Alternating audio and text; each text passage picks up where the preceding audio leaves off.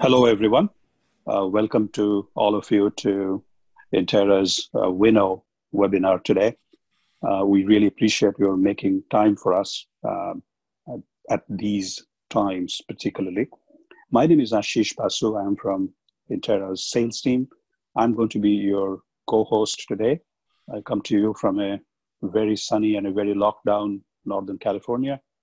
I have uh, your other co-host, Joe Johnson, from our application engineering team today, joining us from Denver.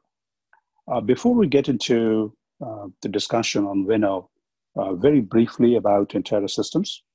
Uh, we are a uh, Cupertino, California-based company.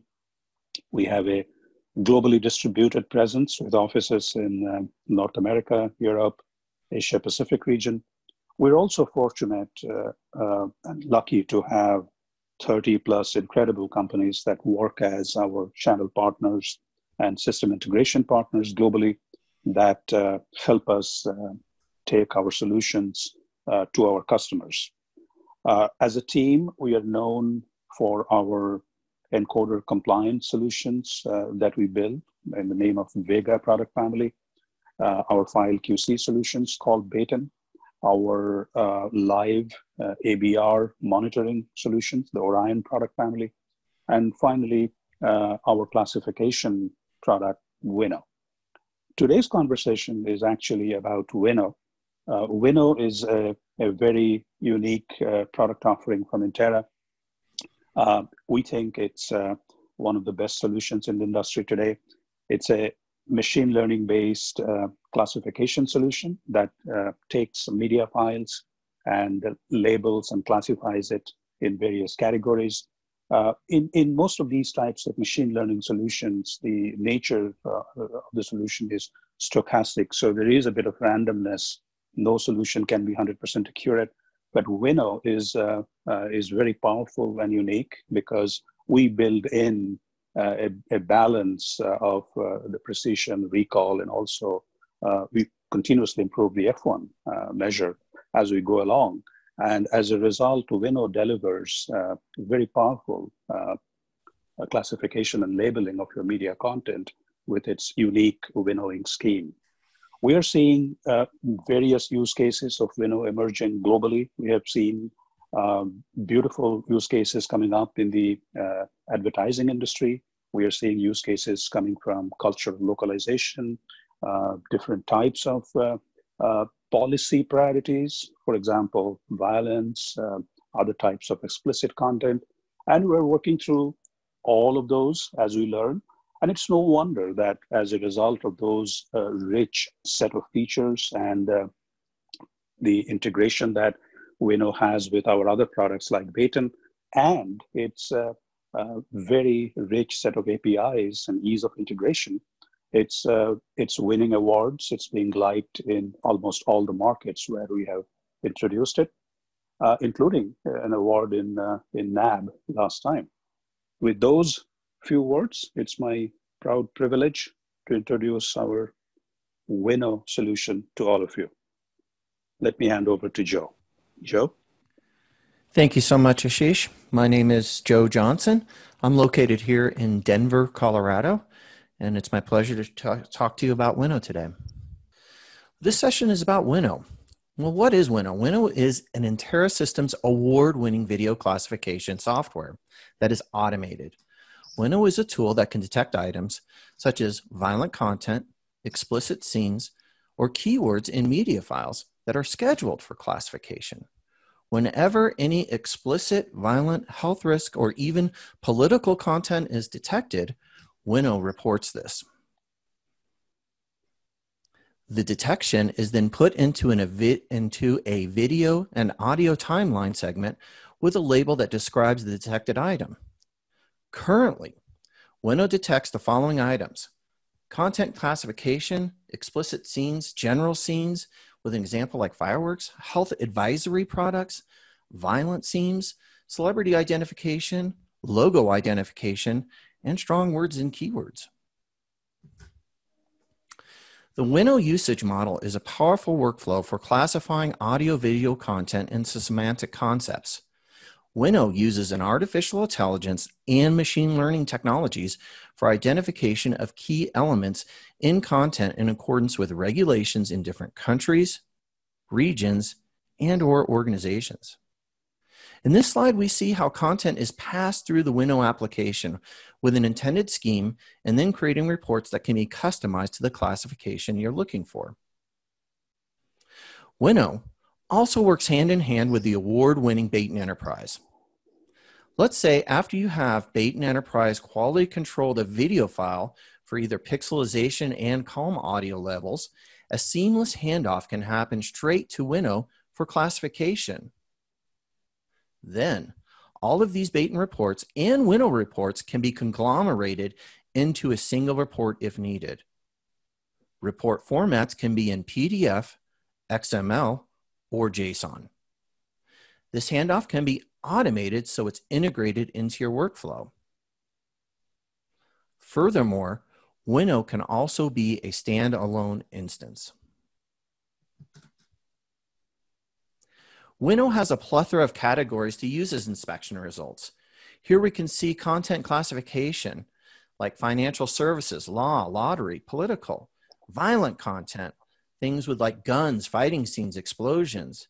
After that, we have explicit content, nudity, sexual situations, health advisory classifications with alcohol or smoking, general scenes with fireworks or gambling, audio word detection, being able to actually listen to the audio and we can find those words or find strong language.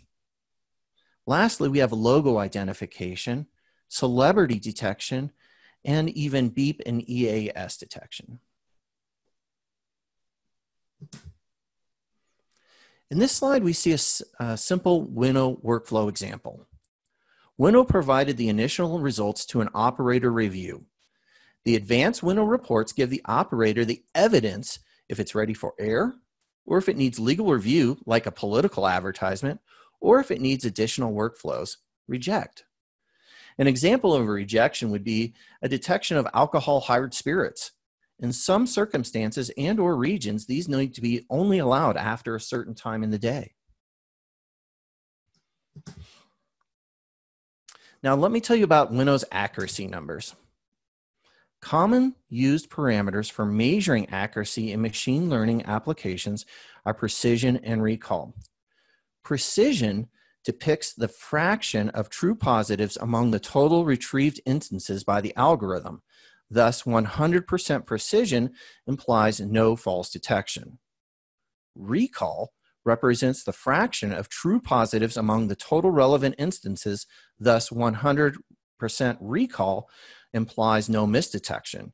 Using both of these metrics, you have a score of F1. This is a measure of accuracy and detection. Ideally, both precision and recall should be high. However, for most application, it works like a seesaw and it's important to strike a balance between your various parameters because focusing only on one can lead to either high false detections and or low misdetections or vice versa. Winnow is an industry leader with the best F1 score in the business.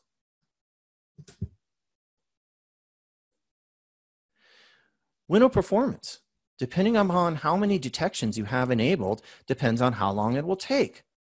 With all current detections turned on, our current performance is two to three times real time, meaning a 30 second commercial will take one minute and 30 seconds or less. Throughput can be increased by adding more GPU servers and then running multiple jobs in parallel.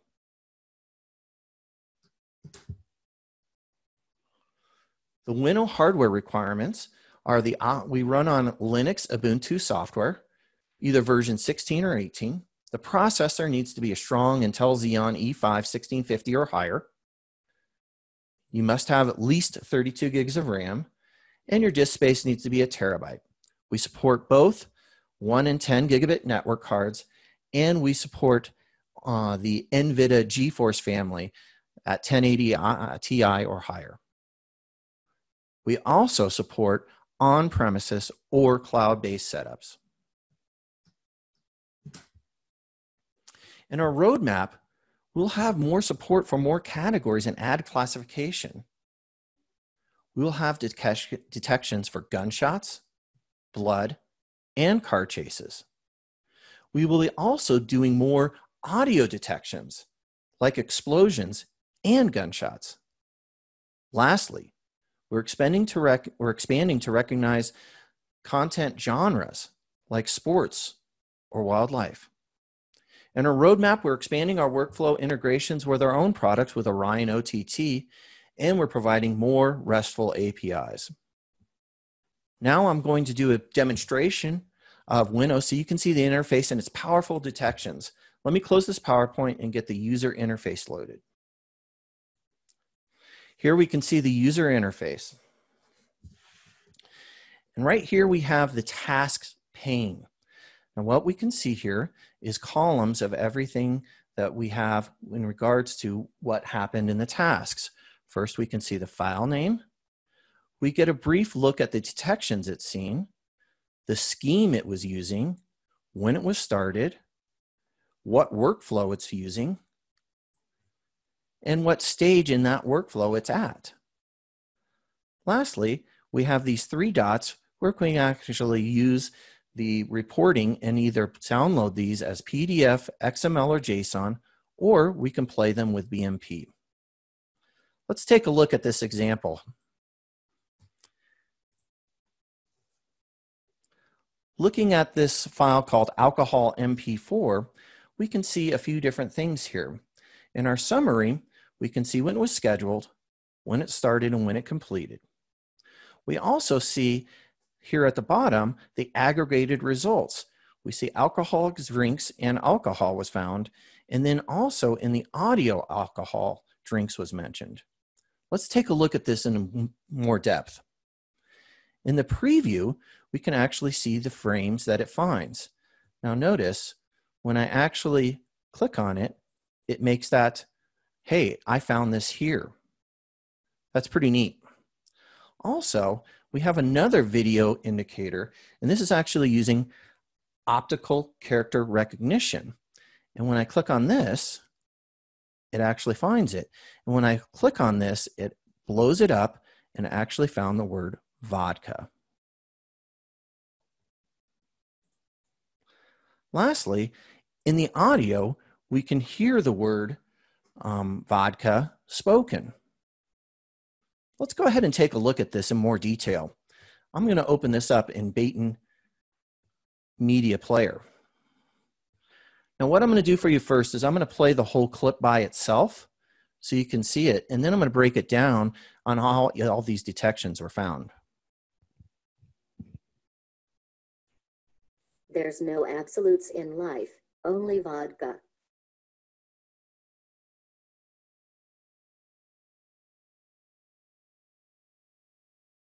Whiskey doesn't ask silly questions. Whiskey understands. Hope you guys heard that okay. So what we found here is there was a couple of detections and we can use our Baton Media Player to look at these detections. First off, let's go ahead and look at this filters panel. We can either look at the video part of this or the audio part. Notice here in the audio, I can go ahead and click on vodka. it plays at half speed, and we heard the word vodka. Similarly, we can also hear the word whiskey right here. Whiskey doesn't ask silly questions. Whiskey understands. So very neat. But we can also switch right over to our video findings and be able to see these. Now notice these are all on our time panel as well as it's listed. We can also bring up different panels like a file properties panels and our audio levels as well. Pretty neat stuff. Now going back to Winnow, we can also see in our details timeline where everything has happened. It provides the start and end time in SMPTE timecode and as well the duration that it found these detections. This is imperative for people that need to find detections and be able to use those for future editing points or changing things. Let's talk a little bit more about Winnow and how it sets up. Well, currently right now, we support different types of content locations. A content location is where your content will reside. We do network locations as a mount share, so it would be local, FTP, S3 storage, which would be uh, AWS, or Azure storage. Very simple to set up and very simple to use. Once you're in your folders, you can go ahead and select your content and then be able to submit it and be able to choose which scheme you'll be using. Well, that brings us right into our next part. Schemes. Boy, we have a lot of them, and I think it's pretty neat to show you how we've set this up. Again, I talked about this in the PowerPoint, but let's see it as it actually works. Our content classification, and we have advertisement classifications. Notice here we have auto, financial services, health services. In explicit content, we can see we have undergarments or body parts. Going down to, say, health advisory, we can see alcohol, smoking, even breakdown of tobacco products. And then, of course, violent content and being able to identify fights or even uh, uniformed personnel like soldiers or policemen. We also can detect strong language and or logos and audio events. Now, as these get passed through the schemes, they go to different workflows. We call these boards. In these boards, you can see thing where they are in the review process. Are they in an operator review stage, in a legal review stage, an edit needing stage, or ready for air stage? Now, this is just an example we've built. You can build your own customized workflows.